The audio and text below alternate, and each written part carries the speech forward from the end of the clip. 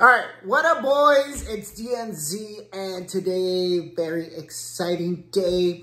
Went down to Power Haus. Yes, Power Haus. It was freaking awesome. Um, this is one of those videos where you literally have to sit through the whole thing. It's so awesome. If you're a bug guy, if you like horsepower, this guy goes through everything. Uh, he tells you about the, uh, see, I don't want to ruin it for you guys. I want you guys to watch this video, okay? It's so good from like, as soon as he starts talking through the whole thing. I mean, I didn't even edit it. That's how good this video is. Or how good this guy is, you know? He explains everything. I know I've showed you the bug in the background, you know? It's kind of a, uh, I don't know. Shit. Here, I'll put a picture of it right. Show you later. But yes, the engine is coming from Power Haus. We went, we took the carbs up. They're all polished out. And he talks about horsepower, all the freaking ins and outs, everything you could imagine. So, watch it. Headed to Torrance, California to Power Haus to drop these off.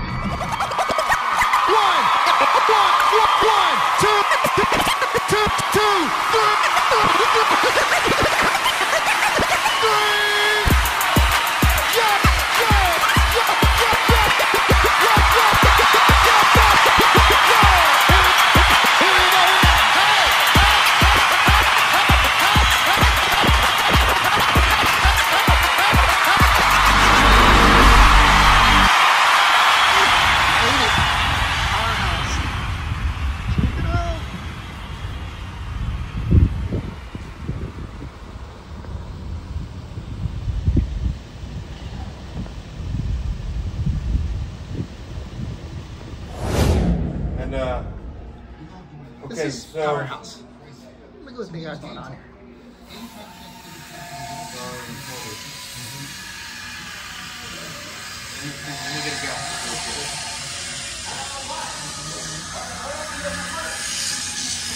Alright, so we walk in this place. So you walk in here. Let me give you the front first, alright? Let's just start from the entrance. Okay, I'm ready. So when you walk in here, this is what you get to see, right?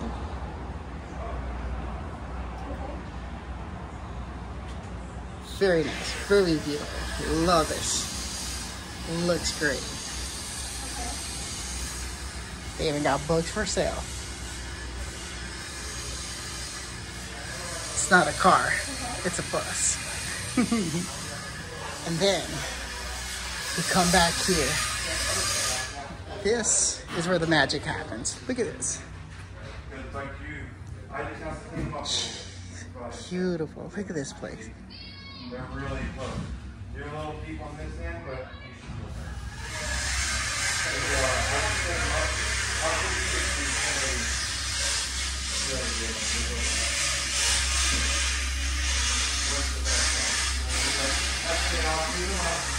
I'll make sure you, so you'll fit, that's all four, one from our head. Uh, you can see. So I'm back for all of them. Alright, so, uh,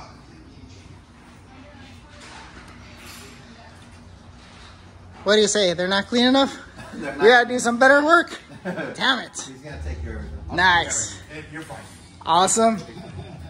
Uh, let me, uh, Your best bet is to push it out. Okay.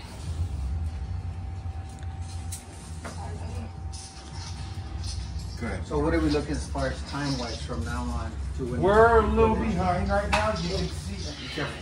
you can see how busy we are. It's insane, bro. Insane. But it's a good thing.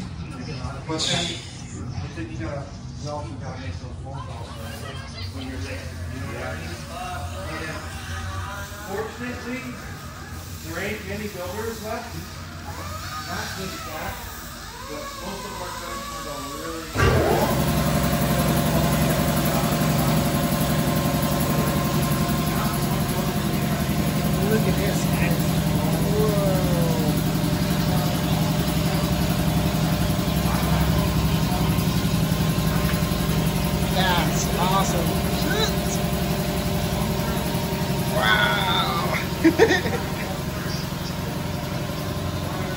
Bug overdose. Love it. God. This is freaking awesome. Yeah.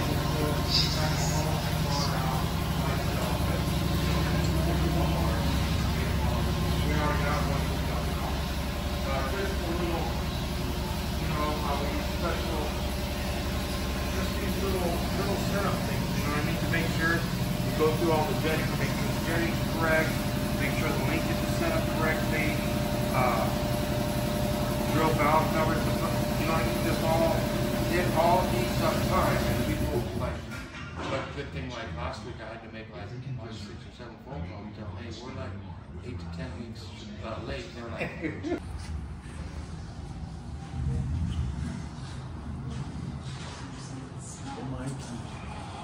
So what are these if I had to buy them how do you spell your today? last name? Um, it's uh, what is it on the on the Mosqueda. M O S Q U E D A. So if we had to buy these today, what what do you think would cost? Ju- Uh, regular set right now is about 15, 1600 for a Spain set. An Italian set probably goes for a little bit more. I would say these are probably, uh, without the polish, I would say 50 grand. You know what I mean? Right in there. And then you polish, which is going to cost you about 500 bucks. So I'd say about 4500 for a set. They're not the, uh, I I love IDAs. One of my favorite carburetors. They're not very driver friendly. Yeah, they're on, like an on and off light switch. You Can't put any air cleaners on. They make the most. Yeah, you can't put no air cleaners, so they they take caps, uh, red caps that go over the top of them. So when you're done, uh, when you park or restore it, uh, I have a bigger. Did uh does he already have the the engine somewhat put together? These are the big. These are one Yeah. of the big stacks. Uh huh. You have the, the, the smaller ones on here. But they do make big, big. You just gotta, you know, you gotta kick your deck lid off on this. Your deck lid won't close. So you have to put deck lid offsets on it. Yeah. Okay. Now that you're doing that, they make these big old monster. You can order them from JC. They're big monster stacks. They're taller, fatter around. They almost look like. These are the cheaper ones. They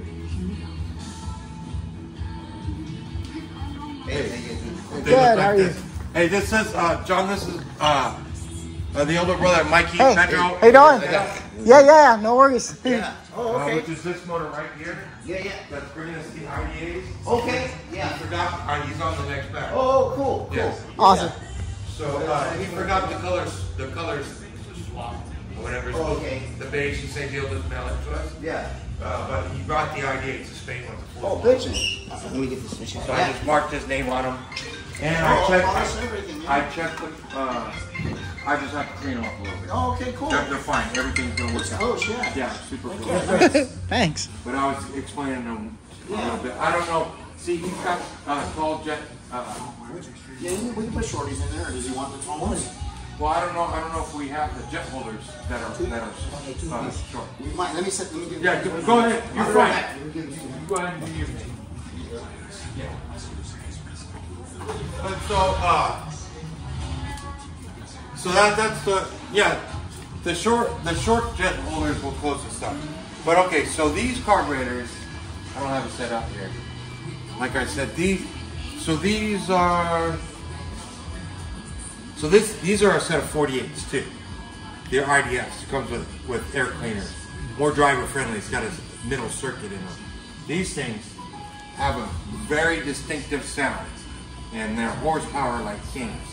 Uh, they're fun. Don't get me wrong. but every once in a while, if you're sitting at a light, they'll load up, uh, which they'll just kind of get a little flooded, and you have to whop whop clean them out. And sometimes when you're coming around the corner, you hear a pop pop every once in a while, and you just gotta whop whop clean them up. But when you jump on these, they're very noticeable, uh, and they they really get down and have fun. There was no linkage, so you're gonna need linkage. Uh, which we can get for you. That's not a problem. Just gotta let let us know if you if you bought them just like this, the Yeah. pair without linkage. Okay, so and let me check your motor real quick because if it's a poor shroud, John's gotta do something special to the linkage. We run only crossbars. We don't run that behind the back kind of shit. It doesn't work. so we're very upfront with, with how we do it. Let me get your work order real quick. Uh, it is a Porsche shroud. Yes. It isn't. Yeah. You, you Yep. uh, I guess your brother or something orders a motor with Porsche shroud 2387. Then he's gonna have about 200 horsepower. You'll burn through three gears in this thing. Wow. you know what I mean? Good thing it's got a five gear. Got a five speed in? Yeah.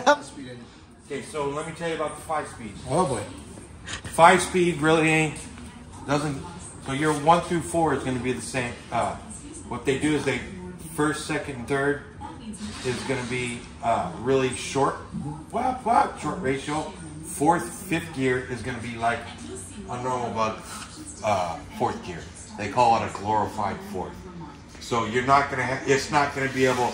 You're only going to be able to still do 65, 70 on the freeway. That's about it for long distance. That doesn't mean you can't do 90 to 100. but if you're going long distance, you just want to cruise the thing. So you want to look at your tach, make sure you hit 3,200 RPMs or less. And then when you hit 3,200 RPM, when your speedo says 65, 70, that's about it. For long distance, so the motor don't overheat and you don't wear it out. You got to pay real close attention to that because volts, like I said, they can't put a real tall gear in a five speed or a four speed. So we can only go so fast for long distance, but for uh, you know, if you got to pass traffic or, or go up a hill or you just want to gun it, have fun. Volkswagens are kind of sketchy after 65, 70. Wait, wait till you get it at 65, 70. You're gonna be like, whoa. All right, cancel that order. You get the small motor. No, no, no, let me back this down a little bit. You know what I mean? But you'll have fun on the street when you come around the corner. When you just jump on it from street light to street light, you'll have a blast. have three. You'll have a really good time with it. Four plans. Best So motor. it's overkill, you're really saying. No, no, no, no. The bigger the motor, the less you got to beat up on them nowadays. Uh, because we run oil cooler kits and stuff like that. Back in the day, they used to complain and say, oh, because what they did is a short ratio tranny, kind of like what you got, but nobody really bought the, the five speed. So you're going to have four nice short ratios. So the thing is going to be a bullet. It's going to piss every Porsche off, every guy in their Mustang, their, their, you know what I mean? Uh, but your fifth gear is only going to be like a, a high ratio like a, a freeway four. Being that, you'll see, you'll enjoy the car. It'll be lots of fun. the smaller the motor, okay, the theory is, the smaller the motor, the more you, when you got a small motor in the car, just to get past itself, to get over a speed bump, your foot's all the way in full throttle. When, when, when you have a big motor, you're not into it as much, so you're not beating that motor up. so the motor lasts a lot longer. It, it's a lot, it's a lot friendlier. You know what I mean? Don't get me wrong. If you're coming around the corner and you jump on that sucker, yeah, you'll have it all sideways. Yeah, you'll have a good time in it. Uh, super, super fun. Uh, pretty much, this is a 1914. Uh, I'll show you one of the other motors over here. So basically, we built the motor as if it's a race motor. You got forged crank, forged flywheel, forged H-beam rods. It doesn't look like a stock rod, you know what I mean? Uh, in your motor, we run a little bit bigger cam than what we normally run in a 2332. We run a, a 120 from our 1914s all the way up. Your 23, uh, your 2387, it's either going to get a, uh, uh, an Engle 130 or it's going to get an FK8. Mathematically, they're about the same. Uh, sometimes the 1-4 ratio is not available, so we go with the 130 on a 125. When you do it on a calculator, it's the same as running an FK8 with, with a 1-4 ratio rocker. So it just basically is the same cam. Plus you get the bigger heads with your motor, which is a 40, this one's uh, 42 by 37, Yours is gonna have a little bit bigger intake, so yours will be 44 by 37, which fit those carburetors a lot better. So yeah, it, it'll be nice, definitely. And your exhaust is a little bit thicker. Like this is uh, this exhaust over here. I don't know if you'll be able to see it. We don't wrap them, this customer wanted it wrapped. doesn't, uh, why do you want it? This will get real old, real, real tired. But you can tell this is a lot thicker than this one.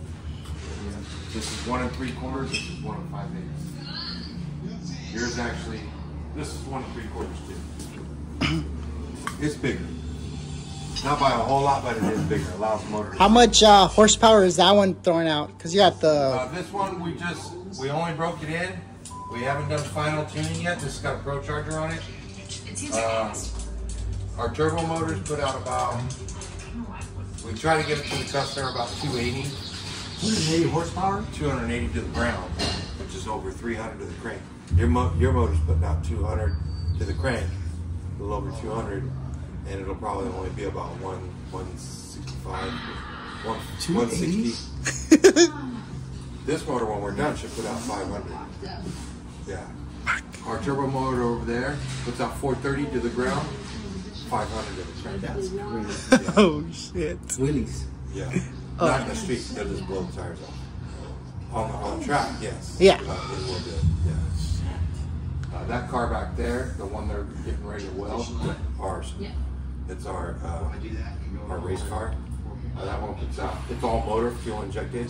That motor puts out, 300 270 But it, no, no turbo. We only get, we get that out of our turbo motors only. Because you can boost them up, boost them up, boost them up. But basically the internals and everything that you have in your motor is basically what we have on our, on our turbo set as well. This one right here, oh, this is a small one. This is, uh, twenty-three thirty-two, waiting for the Porsche shop to come back. Same thing with that one, twenty-three thirty-two, waiting for the Porsche shop.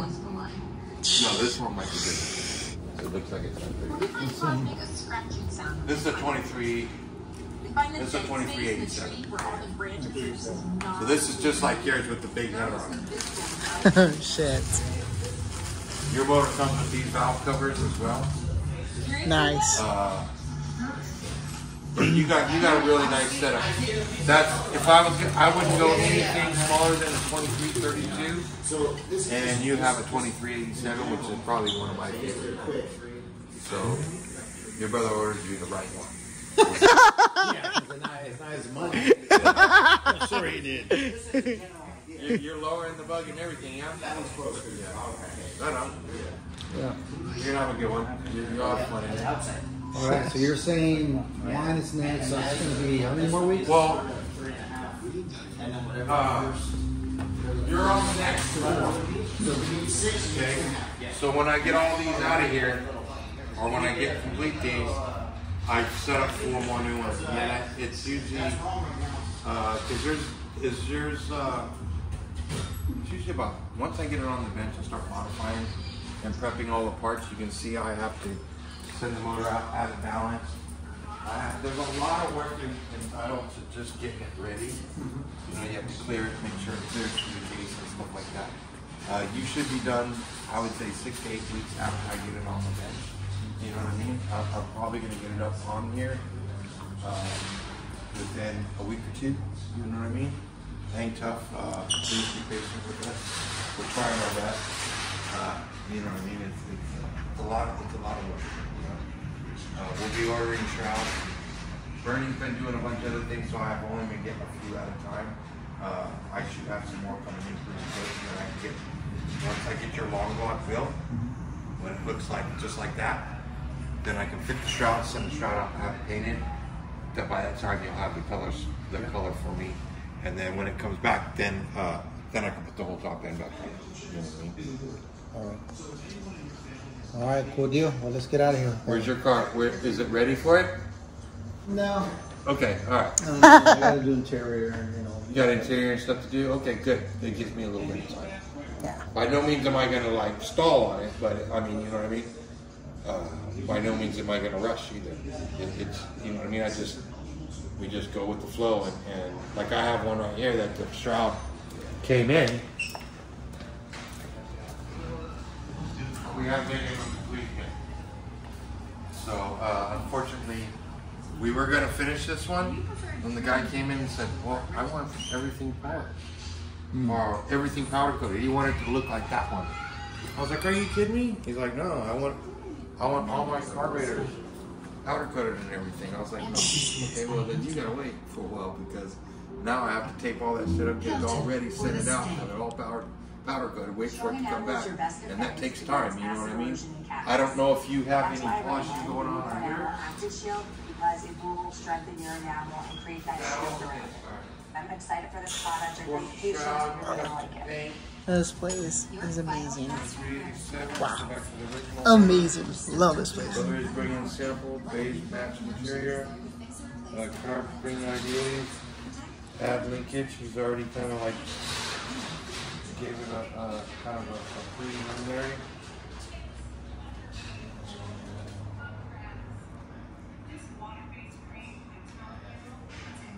Doesn't say anything about, uh, it doesn't say anything about polishing anything else.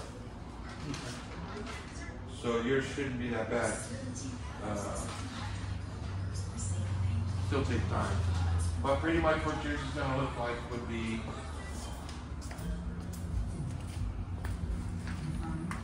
basically like with those valve covers, that same exhaust system, your fan's gonna look like this.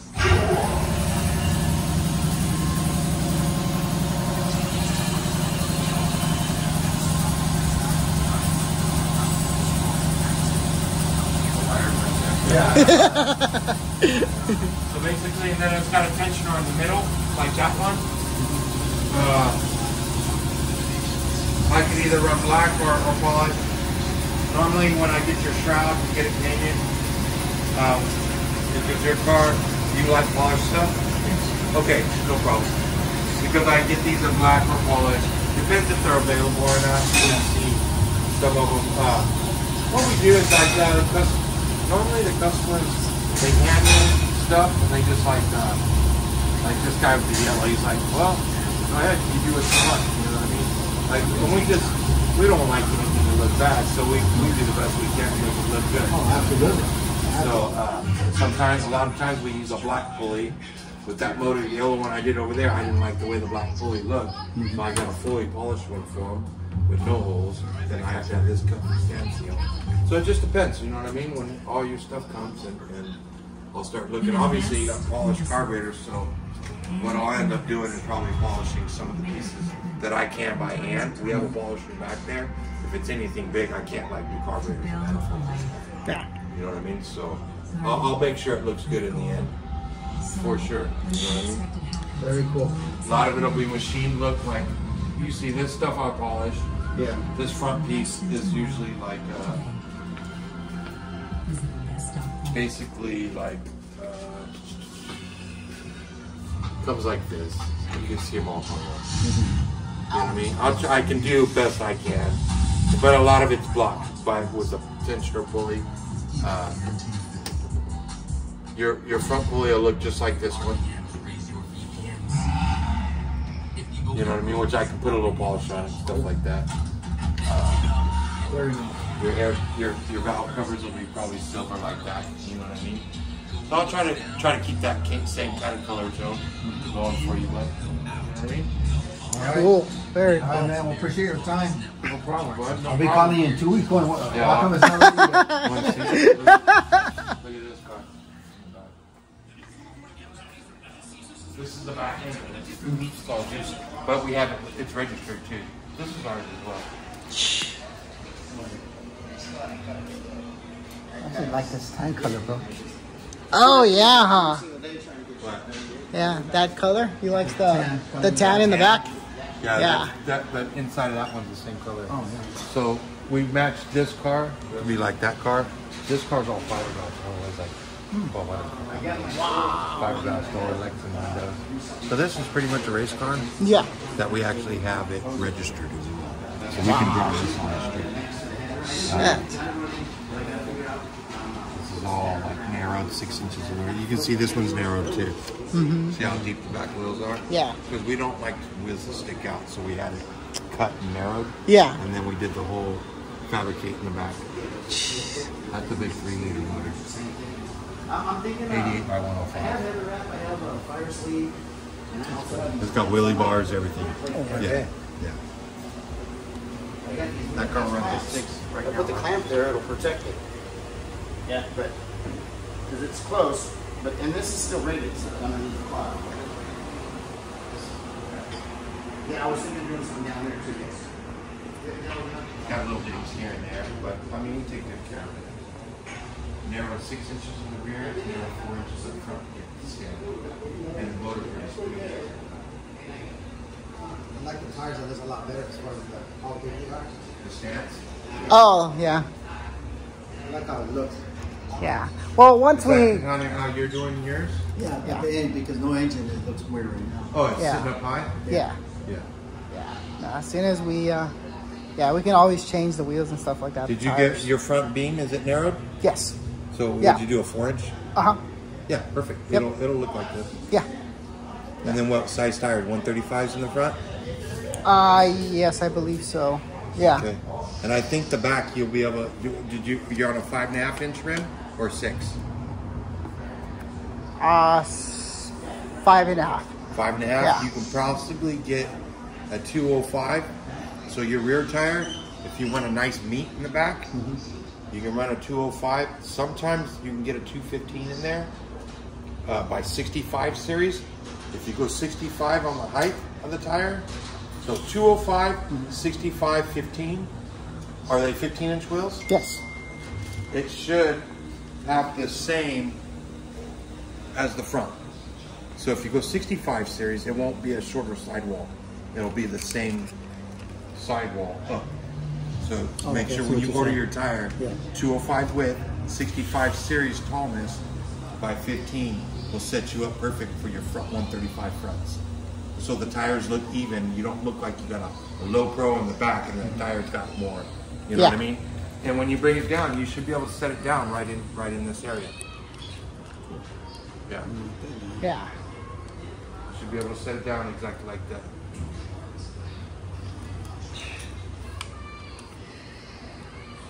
So yeah, what year is it again? It's a 54. 54? Yeah. Okay. 54. 54. So, oh, oh, perfect. So the Porsche shroud, I cut it back. So the motor, and then uh, remember that if you notice, let me, I'll show this to you as well. 54, it's an oval window. Yes. Okay. See this right here? Is it painted already? Yes. Yeah. Inside too? Yes. Okay. But I think we already cut that. Did you? I believe so because Perfect. we knew we Okay, were going to go with this. this. right here, Uh huh. The valve covers are going to stick out like that. Okay. On all of them. Yeah. So it doesn't matter the size of motor I build you, you know what I mean? Yeah. So already I'm gonna, when I build the front part of it, like when we do the Porsche strap, I already cut that tin back. So you're okay here to here. But you have to make sure you do this. Yeah. So the easiest way to do it is to, pull the valve covers. When you go to put the motor in and look and see if it touches and then try to put the valve covers on. And then if they don't go on, then you know you have to trim it a little bit more. Okay? And then uh, one other thing to advise you on is see how we undercoated the inside of the fender wells? Yes. This one too. I'll show you why. So this was painted. This was painted all the way through. Doesn't matter on on this edge. Doesn't matter here either. That's fine. But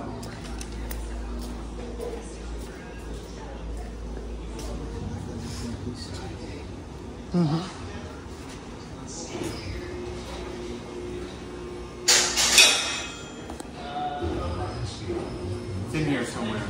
So what happens is when you drive it, if you don't undercoat the inside of the fender and a rock comes up, pink, it'll leave spider beams. Oh, ah, okay. So you want to undercoat the in, underneath of the fenders. Got That's it. all. Don't worry about going that way if you like to paint that way. That's cool. Uh, but make sure you, yeah. I was trying to find one for you. It sucks because it just one little ding and then it'll look like a spider web. It'll it'll one one shot, one little tiny rock. I had one. There's there's a couple in this car before we did it. Has like a little metallic to it, huh? bro. Ah. Yeah. Gonna throw. Sorry guys, I was helping him. Oh. He uh, came in to weld, so I'm trying to make sure I Yeah, so just make sure you undercoat the inside of your fenders, otherwise you'll be bummed. So bummed. Yeah, we did that. You should have this car forever. Yeah, over this has been something year, 25, old from the old shop, so 25 years, 25 years. Beautiful place you have here. And the, Yeah. and the parts off of it, a lot of the parts that were are on it have been saved for almost 10 years prior to that from our old bug. Remember, Jerry? That, like the rims and stuff? And we had saved a lot of stuff for it. It's clean and fine. Got turkey sewage and stuff like that. It went through a bunch of transformations. I mean, you know what I mean, little by little throughout the years. Smells like grease gas. Does? Yeah, it. Maybe something's leaking. Fix it. Maybe one of the fuel lines are leaking now. yeah, let's get out of here. Right on, you guys. All right. Thank you guys. Appreciate it. No problem.